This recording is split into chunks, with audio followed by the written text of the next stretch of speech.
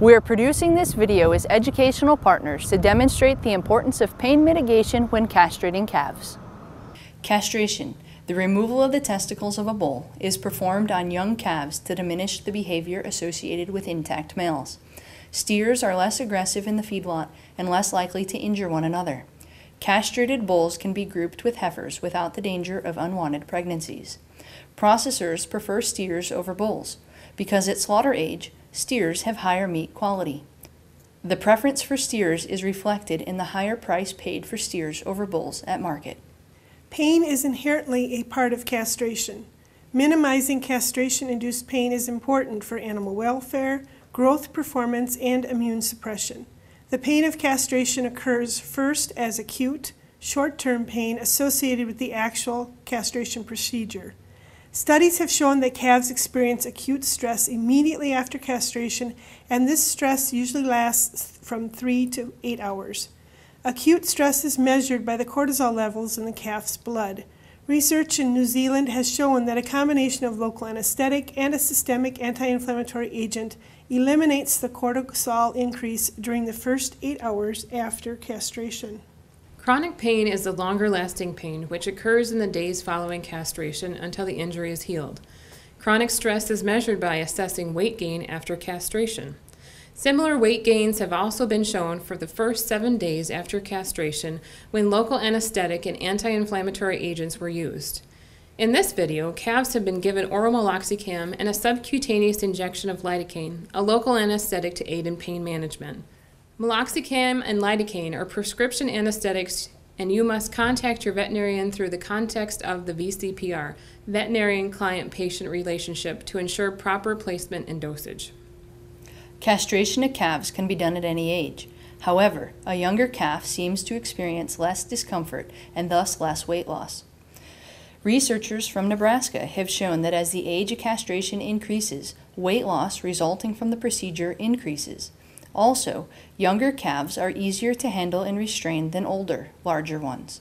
The bleeding, infection, and weight gain depression associated with castration are also less in younger calves. In general, calves should be castrated before three months of age. Avoid castrating during the hot summer months due to fly problems and resulting infections. Castrating in wet, dirty environments is also not advisable as the calf could lie down and develop infection from exposure to mud and manure. Proper restraint is necessary when castrating calves and having a second handler is preferred. Anytime the calf is castrated standing up, tail restraint is recommended.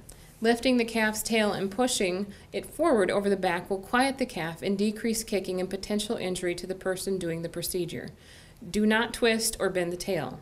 Rough handling of the tail does not quiet the calf. Your helper can also push the calf against a solid wall, placing their knee in the calf's groin to immobilize them.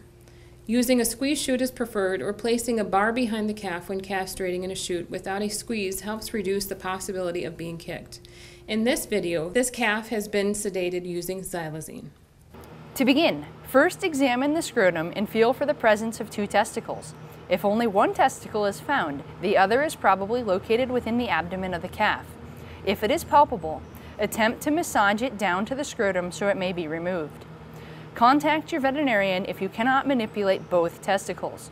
Do not ever only remove one testicle. The abdominal testicle will provide testosterone to cause unwanted aggressive behavior in the feedlot and possibly unwanted pregnancies. It is also important to identify if the calf has an inguinal hernia prior to castration. Affected calves have a larger than normal opening into the abdomen, which allows intestines to fall into the scrotum.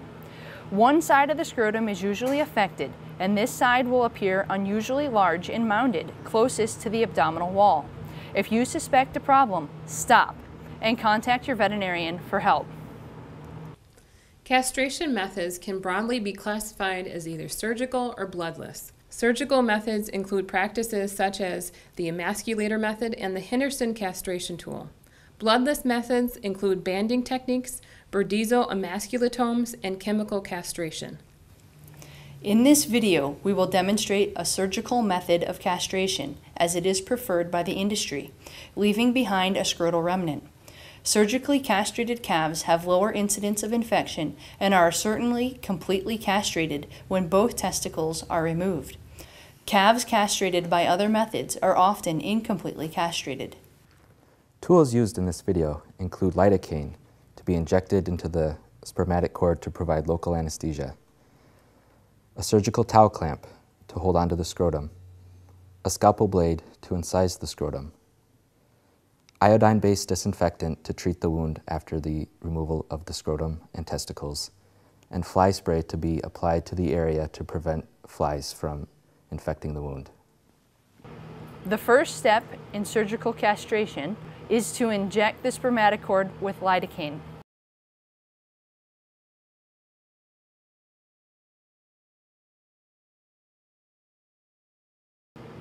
Wait several minutes to proceed to the next step of opening the scrotum.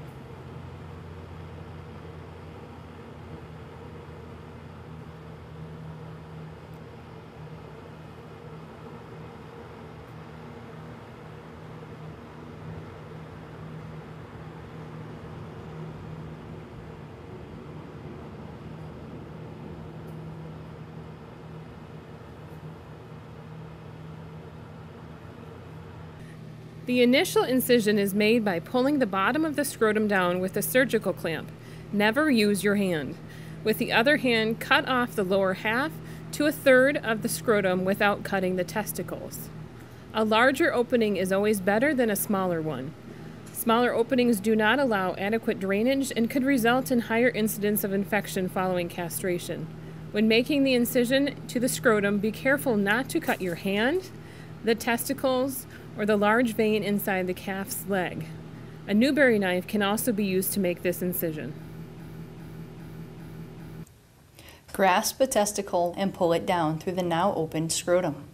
Gently pull on the testicle until you feel the muscles in the spermatic cord separate. You will feel two distinct snaps as they separate.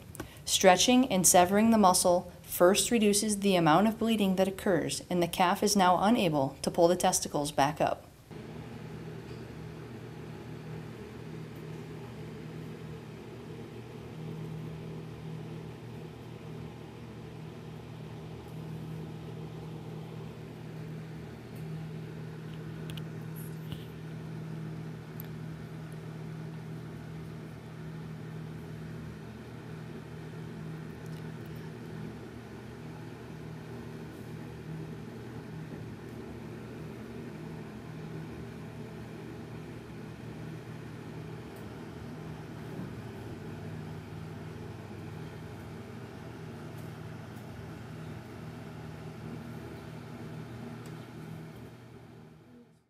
There are four methods of removing the testicles from the calf. The first is to use an emasculator. Emasculators are specialized instruments designed to crush and cut the spermatic cord as the testicles are removed. The key to using an emasculator is to place the nut of the instrument against the testicle, nut to nut. Otherwise, you will not have the cord to crush once you close the instrument. Emasculators are usually used on older bulls with a larger spermatic cord. In young calves, the testicles may be grasped and pulled until the cord breaks, as shown in this video. A dull knife can also be used to sever the spermatic cord. To sever the spermatic cord with a dull knife, scrape the cord gradually separating the tissue and vessels until the spermatic cord breaks. It is important not to cut the cord as this will result in excessive bleeding. The fourth method is the Henderson castration tool. The Henderson castration tool is designed to be more effective on older bulls. The tool fits on a variable speed drill and is clamped to the spermatic cord near the testes. The drill is then slowly rotated until the testicle is removed by approximately 20 rotations of the drill. To minimize infection, cleanliness is important before, throughout, and after the procedure. Instruments should be clean and maintained in a bucket with water and disinfectant. Gloved hands should be washed in the disinfectant before beginning and between calves. Avoid touching the chute or the calf's body with your gloved hands. If the scrotum is dirty, it should be washed with disinfectant and dried prior to the procedure. The water and disinfectant should be replaced after 15 calves because the water will become dirty and the disinfectant will become ineffective. The final step in surgical castration is wound treatment. Flies cause annoyance and are associated with an increase in wound infection. Liberally apply fly spray, spray, repellent over the back end of the calf and inside its back legs. Do not spray directly into the open scrotum. Calves should not be turned out into a wet area. Instead, a clean, dry area where they can calm down and walk around. An excited calf will bleed more. Offering fresh feed immediately following the procedure helps encourage the calf to remain standing to avoid contaminating the fresh wound.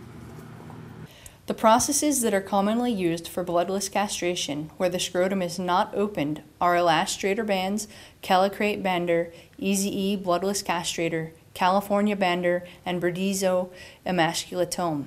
These methods are not demonstrated in this video. It should be noted that there is a risk of anaerobic infection such as tetanus when using banding methods. Calves should be vaccinated with tetanus toxoid 7 to 10 days before banding and receive boosters at castration to mitigate the risk of tetanus. Banding is also associated with a high incidence of missed testicles.